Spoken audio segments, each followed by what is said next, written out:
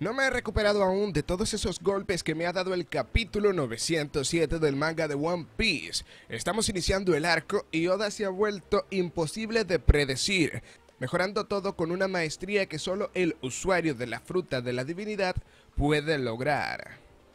Creo que es la primera vez que un capítulo viola a toda una comunidad, tanto inglesa como japonesa y por sobre todo la nuestra. Yo lo digo, este es para mí el mejor capítulo de la historia de One Piece. No puedo pensar en uno mejor, la verdad.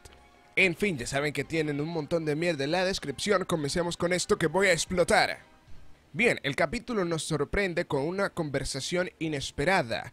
Big Mom y Kaido están hablando muy amenamente.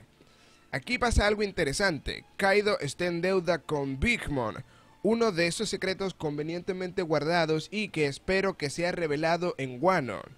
¿Qué puede ser? Ni idea la verdad. Los leo en los comentarios sobre esto. Ahora, sobre Big Mom viajando a Wano hablé en un análisis anterior, pese a que no sé cuál es la verdad, pero más o menos lo dije. Y pesar que en su momento me parecía una idea imposible, aunque hablé de eso, y más después de ver el poder de la Yonko. Pero Oda en este capítulo lo confirma, Big Mom irá a Wano sí o sí, y eso es súper tremendo.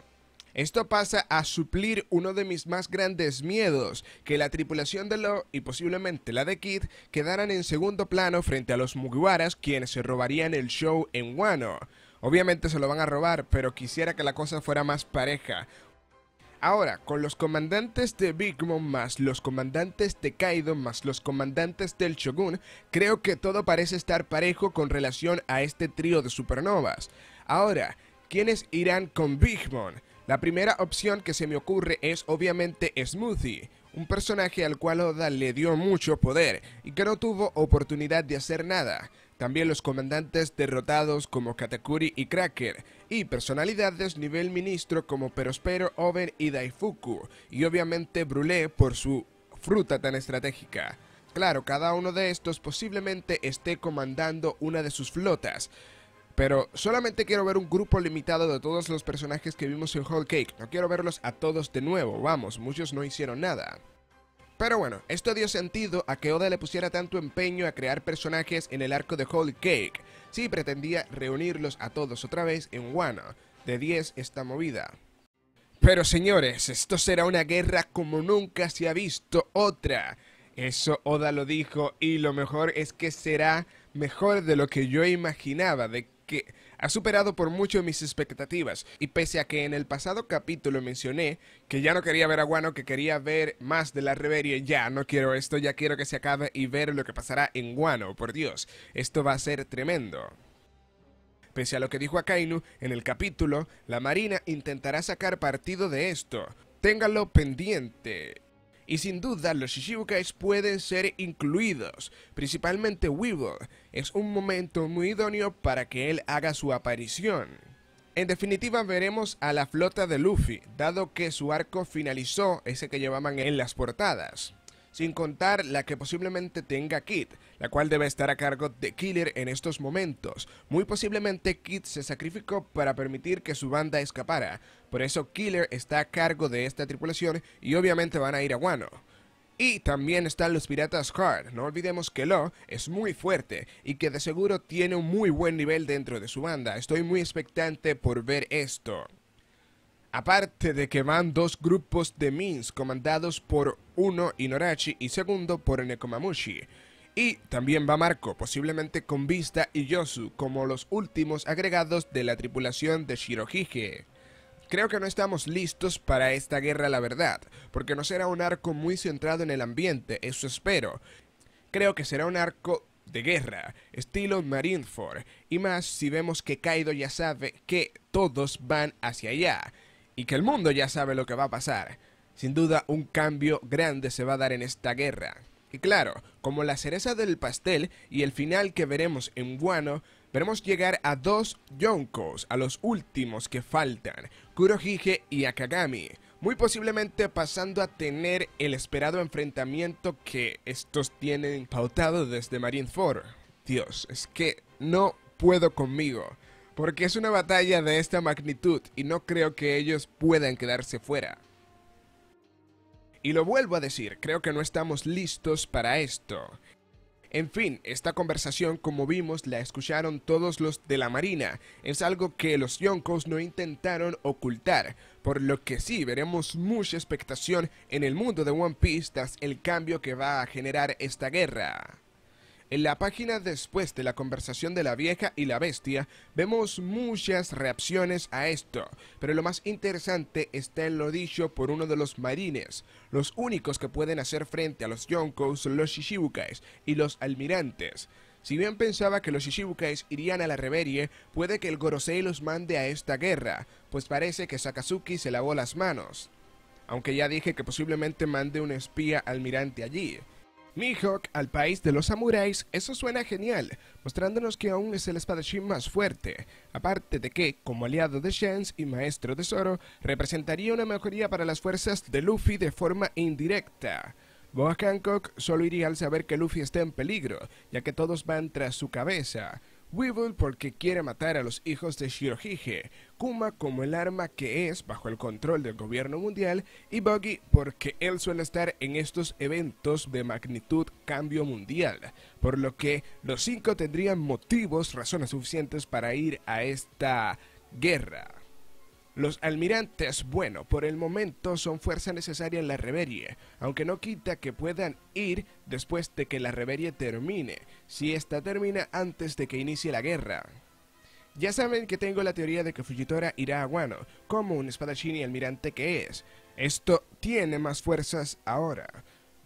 Pero volviendo con el sistema Ouke Shishibukai, puede terminar y no porque en la reverie se determine que así deba ser, sino porque pasará de moda en cierta forma y los únicos que quedarán dejarán su puesto sin más después de la guerra. Analicemos. Mihawk fácilmente puede ser miembro de la tripulación de Akagami. Kuma es técnicamente un arma, por lo que no representa tanto a los Shishibukais como tal.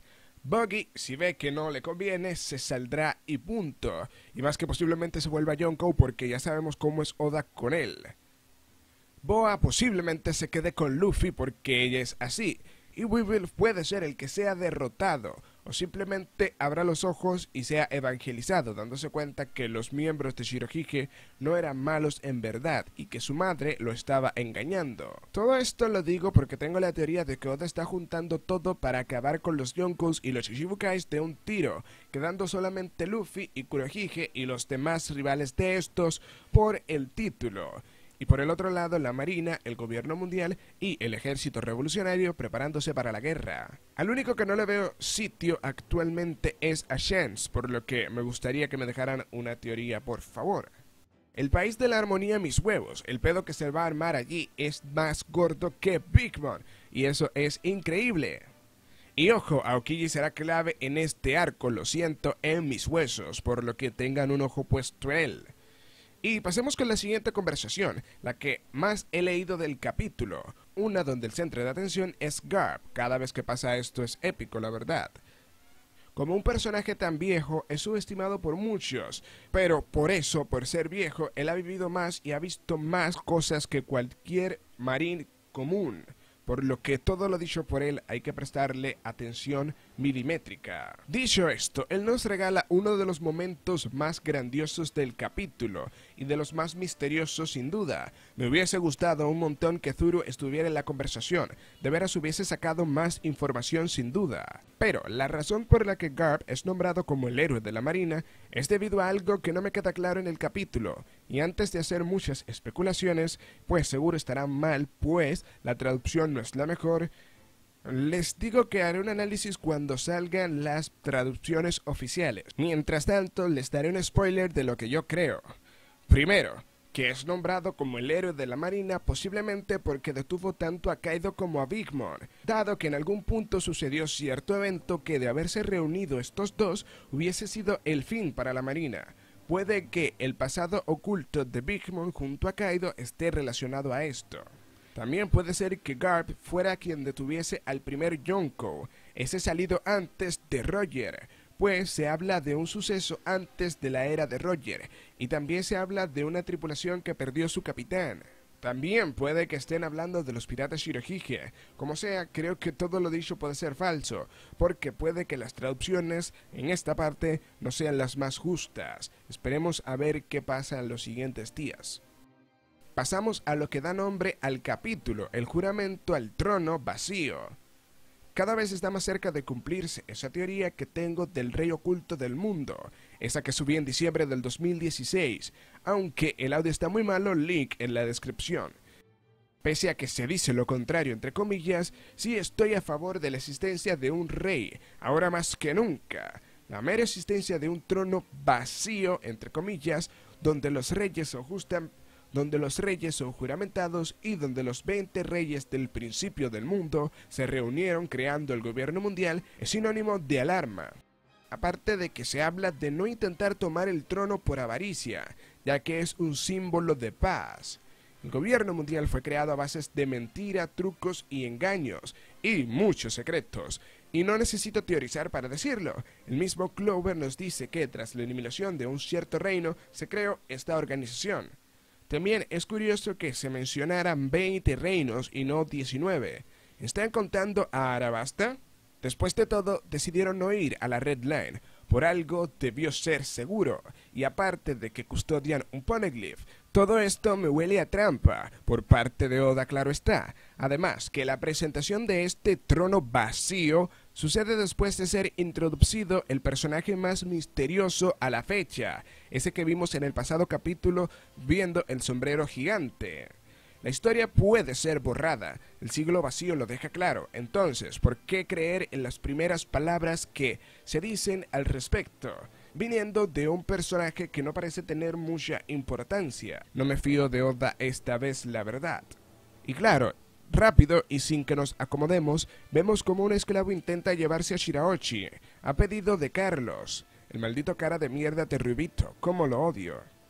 Las princesas son retenidas, no tienen ni el poder físico ni el político para evitarlo.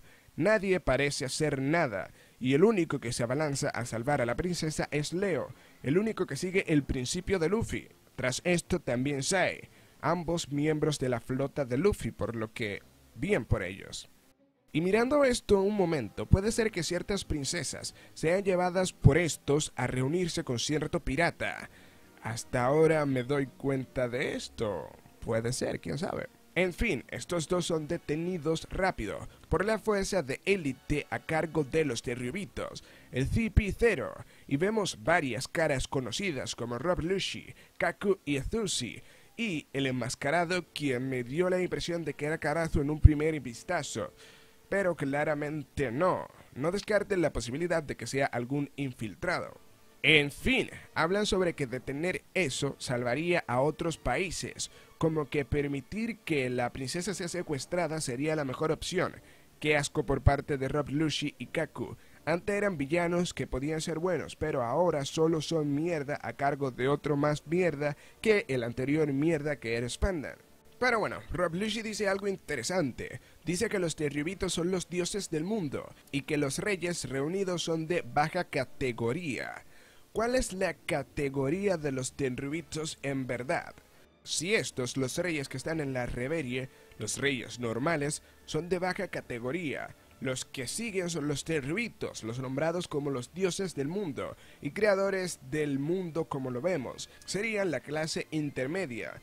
Y por sobre estos no debería de haber otro, uno que los haya liderado en primera instancia, considerado así como la única clase alta de todo el mundo, el rey de reyes.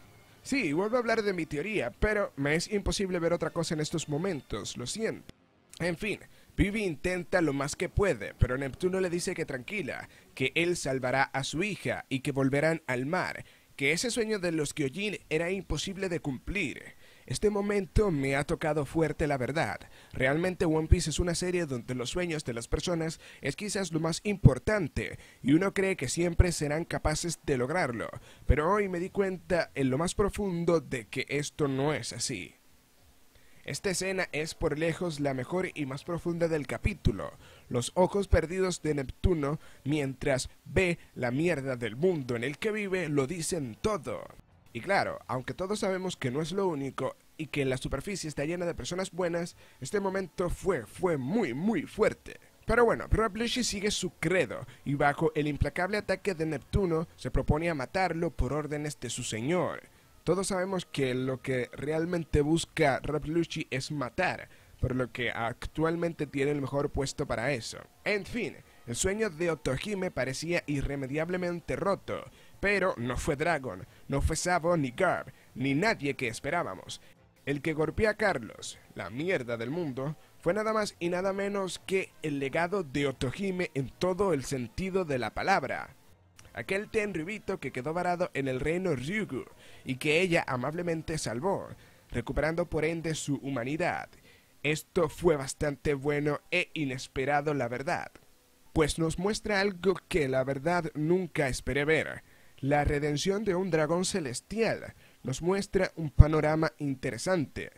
Los únicos que pueden detener a un Tenryubito es otro Tenryubito, su igual, Sería interesante porque de qué lado debería de ponerse el CP0 si estamos ante una pelea entre Tenryubitos. Muy cool por parte de Oda esta parte. Este es parte de la familia Don Quijote y no sé si me equivoco pero creo que no había sido presentado como tal. Un primo lejano de Don Flamingo de seguro. Esto es una sorpresa la verdad. Y ojo, tener un aliado Tenryubito en la Reverie sería de mucha utilidad. Ya veremos cómo le sacan provecho las princesas a esto en el futuro. Pero entramos a la segunda parte de la página final del capítulo. Directo y al grano, Shams en Tierra Santa. En un principio creí que era Dragon, pero resulta que Akakami no Shams está ante el Gorosei. Esto fue lo más raro y nunca lo imaginé la verdad. Cabe aclarar que esta escena la voy a analizar a fondo junto con lo de Garb cuando salgan las traducciones oficiales, porque creo que tiene más información de de la que podemos ver a simple vista, pero mientras eso sucede vamos a analizar un poquito ahora.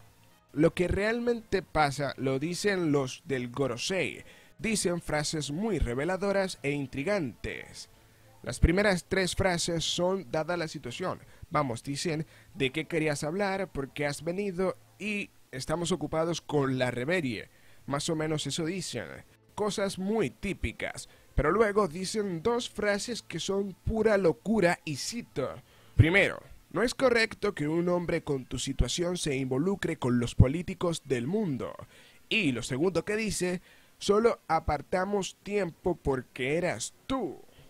Esto parecía estar claro, pero ¿qué rayos? Son demasiados honores para uno de los piratas con más alto rango de la historia. ¿Y qué tal si Shans es algo más?